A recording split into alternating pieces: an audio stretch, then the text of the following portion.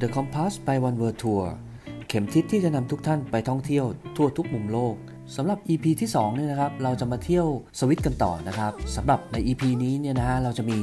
สถานที่ท่องเที่ยวก็คือ เมืองมองเทรนะครับเมืองเวเว่นะฮะเมืองโลซานแล้วก็กรุงเจนีวานะฮะรวมถึงกรุงเบิร์นนะครับสำหรับทั้ง 5 เมืองเนี่ยนะครับจะอยู่ไม่ไกลกันนะฮะแล้วก็สามารถที่จะเดินทางได้ด้วยทางรถยนต์นะครับแล้วก็รถไฟนะฮะหลังจากเที่ยวเมืองเซอร์แมตเรียบร้อยนะฮะเราจะโดยสารรถไฟนะครับลงสู่ด้านล่างที่เมืองแทชนะครับนะรถทัวร์นะจะจอดรอเราอยู่ที่เมืองแทชนะครับเพื่อจะนำพาเราท่องเที่ยวกันต่อนะฮะสำหรับวันนี้เนี่ยนะครับเราจะเดินทางกันไปทางทิศตะวันตกของประเทศสวิตเซอร์แลนด์นะครับนะก็จะผ่านเมืองเล็กๆนะฮะเมืองที่สวยงามหมู่บ้านนะฮะชนบท แล้วก็ฟาร์มของเกษตรกรนะที่อยู่นะสองข้างทางนะฮะสำหรับจุดหมายปลายทางแรกนะฮะที่เราจะจอดแวะเที่ยวกันก็คือที่เมืองมองเทรนะครับเมืองมองเทรเนี่ยนะเป็นเมืองเมืองหนึ่งที่อยู่ริมฝั่งทะเลสาบเจนีวานะฮะซึ่งเป็นทะเลสาบที่ใหญ่ที่สุดในประเทศสวิตเซอร์แลนด์นะครับแล้วก็เป็นทะเลสาบเขาเรียกว่าเป็นพรมแดนระหว่างประเทศฝรั่งเศสกับประเทศสวิตนะครับจะมีเมืองเล็กเมืองน้อยนะครับรวมถึงเมืองใหญ่ๆ อย่างเจนีวาเนี่ยอยู่รายล้อมนะฮะตัวทะเลสาบนะครับสร้างความสวยงาม แล้วก็บรรยากาศที่หาที่อื่นไม่ได้นะครับนะเพราะว่าริมชายฝั่งอของทะเลสาบเจนีวาเนี่ยนะฮะจะเป็นทั้งชุมชนบ้านเรือนผู้คนนะครับนะแล้วก็สถานที่ใช้เพาะปลูกนะฮะโดยเฉพาะองุ่นนะครับที่นำมาใช้ในการผลิตไวน์นะครับซึ่งไวน์ที่ผลิตในแคว้นลาโวนะครับนะส่วนใหญ่ก็จะปลูกอยู่ริมทะเลสาบเนี่ยนะครับนะส่วนใหญ่แล้วไร่องุ่นนะฮะที่ปลูกอยู่ริมทะเลสาบเจนีวาเนี่ยนะครับก็จะปลูกตามเชิงเขานะฮะเรียกได้ว่าเหมือนกับเป็นขั้นบันไดเลยนะครับถึงขนาดว่าองค์การยูเนสโกนะฮะได้ขึ้นทะเบียนนะครับในบริเวณนี้เนี่ยเป็นมรดกโลกเนื่องจากว่ามีการเพาะปลูกไวน์มาตั้งแต่สมัยยุคกลางนะครับแล้วก็ผลองุ่นเนี่ยมีคุณภาพสูงนะครับนำมาผลิตไวน์แล้วก็ได้คุณภาพที่ดีมาก เป็นที่นิยมนะฮะของคนในยุโรปแล้วก็ส่งออก จริงๆแล้วส่งออกอาจจะไม่เยอะนะครับ เพราะว่าพื้นที่ในการเพาะปลูกตรงนี้เนี่ยนะครับอาจจะไม่กว้างใหญ่เท่าในฝรั่งเศสนะฮะทำให้ไวน์ของสวิตเนี่ยนะฮะถ้าอยากจะดื่มจริงๆก็ก็คงต้องมาดื่มกันที่นี่นะครับนะเพราะว่าจะมีเหลือส่งออกได้น้อยมากนะฮะสำหรับที่เมืองมองเทรเนี่ยนะครับเป็นเมืองเล็กๆ น่ารักนะครับที่อยู่ริมชายฝั่งของทะเลสาบเจนีวานะครับเป็นเมืองที่มีผู้คนตั้งลกลากกันมาอย่างยาวนานนะฮะเนื่องจากว่ามองเทรเนี่ยนะเป็นเส้นทางเดินผ่านของกองทัพโรมันตั้งแต่สมัยโบราณ ที่จะเดินทางไปทางทิศตะวันตกนะฮะไม่ว่าจะไปฝรั่งเศส หรือว่าจะเดินทางไปที่ประเทศอังกฤษนะฮะก็ต้องผ่านเมืองมองเทรนะครับนะที่เมืองมองเทรเนี่ยจุดที่สำคัญนะครับก็คือบริเวณ The Promenade นะฮะหรือว่าถนนที่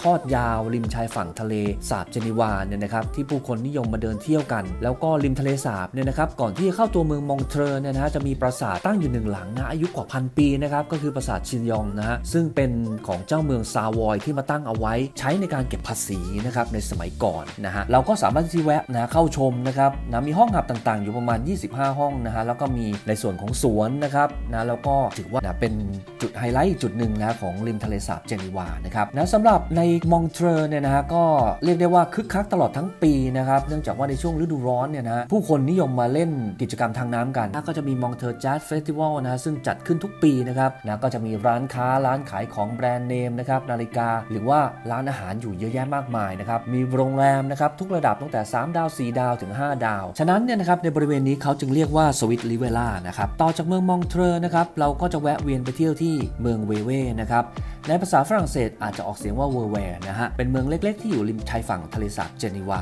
นะครับ อยู่ไม่ห่างจากเมืองมองเทอร์มากนักนะครับสำหรับที่เมืองเวเว่เนี่ยนะครับ เป็นเมืองต้นกำเนิดของบริษัทเนสเล่ที่เรารู้จักกันเป็นอย่างดีนะครับนะเนื่องจากว่าเราก็คงจะคุ้นเคยกับยี่ห้อนี้นะครับ ผลิตทุกอย่างเลยก็ว่าได้นะฮะ ในเมืองเวเว่นะครับจะมีสวนสาธารณะเลอชักแดงดอลเลสนะครับ อยู่ริมทะเลสาบเจนีวา นะฮะ เป็นจุดที่เราจะเดินเที่ยวกันนะครับนะเพราะว่าจากริมทะเลสาบเนี่ยนะฮะเราสามารถจะเดินไปถ่ายรูปคู่กับอนุสาวรีย์ของชาลีชัปปรินนะครับซึ่ง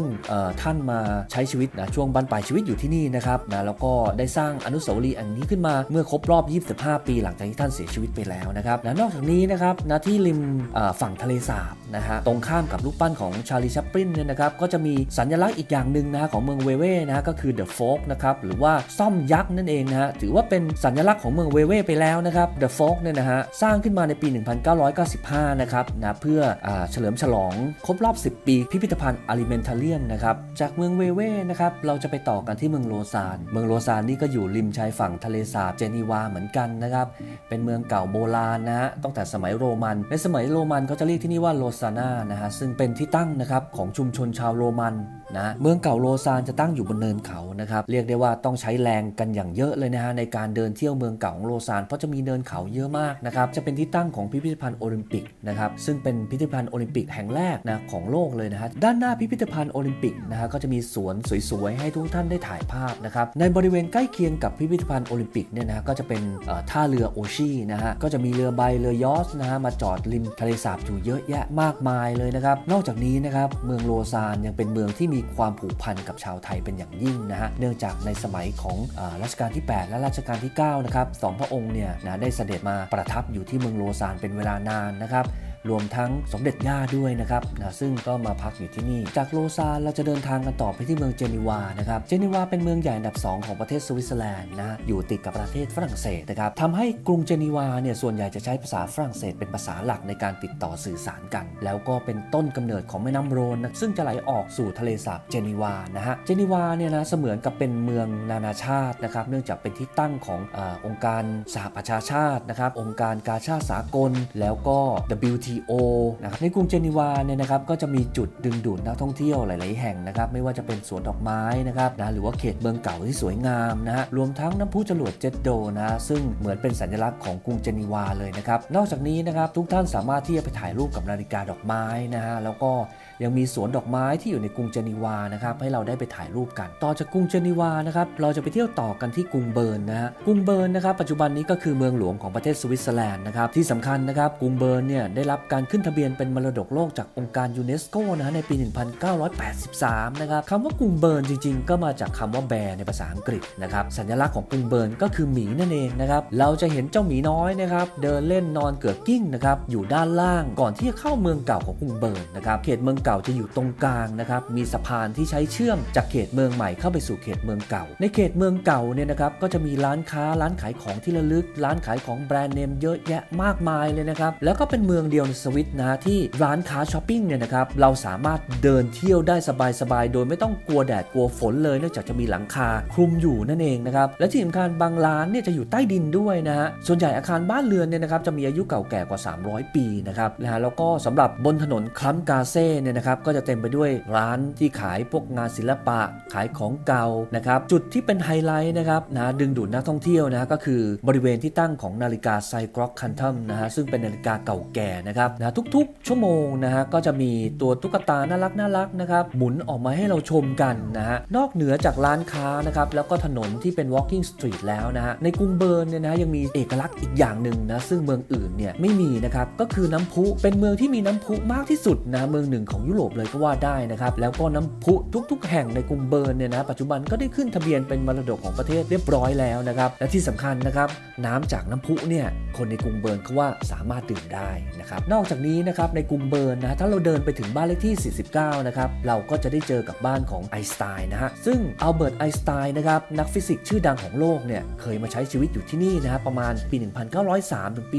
1905 นะครับปัจจุบันนี้นะครับบ้านหลังนี้ได้กลายเป็นพิพิธภัณฑ์นะฮะที่เก็บรวบรวมภาพถ่ายแล้วก็ผลงานบางส่วนของไอน์สไตน์นะครับระหว่างทางที่เราเดินข้ามสะพานเนี่ยนะเราก็จะมองเห็นยอดของมหาวิหารเบอร์เนอร์มูนสเตอร์นะครับสร้างขึ้นในปี 1421 นะครับเป็นอาคารที่มีความสูงที่สุดในตัวเมืองนะฮะอีกจุดหนึ่งที่พลาดไม่ได้ก็คือสวนกุหลาบนะครับซึ่งเป็นจุดไฮไลท์ของกรุงเบิร์น ถ้าเราเดินทางมาที่นี่ในช่วงฤดูร้อนนะฮะก็จะเต็มไปด้วยกุหลาบพันธุ์ต่างๆ เยอะแยะมากมายนะครับแต่ทุกท่านทราบไหมครับว่า Rose Garden แห่งนี้สมัยก่อนเป็นสุสานนะครับแต่ในปี 1913ก็ได้มีการเปลี่ยนแปลงปรับปรุงนะฮะรื้อสุสานออก และได้เปลี่ยนมาเป็นสวนสาธารณะ เพื่อให้ประชาชนชาวเบิร์นได้พักผ่อนกัน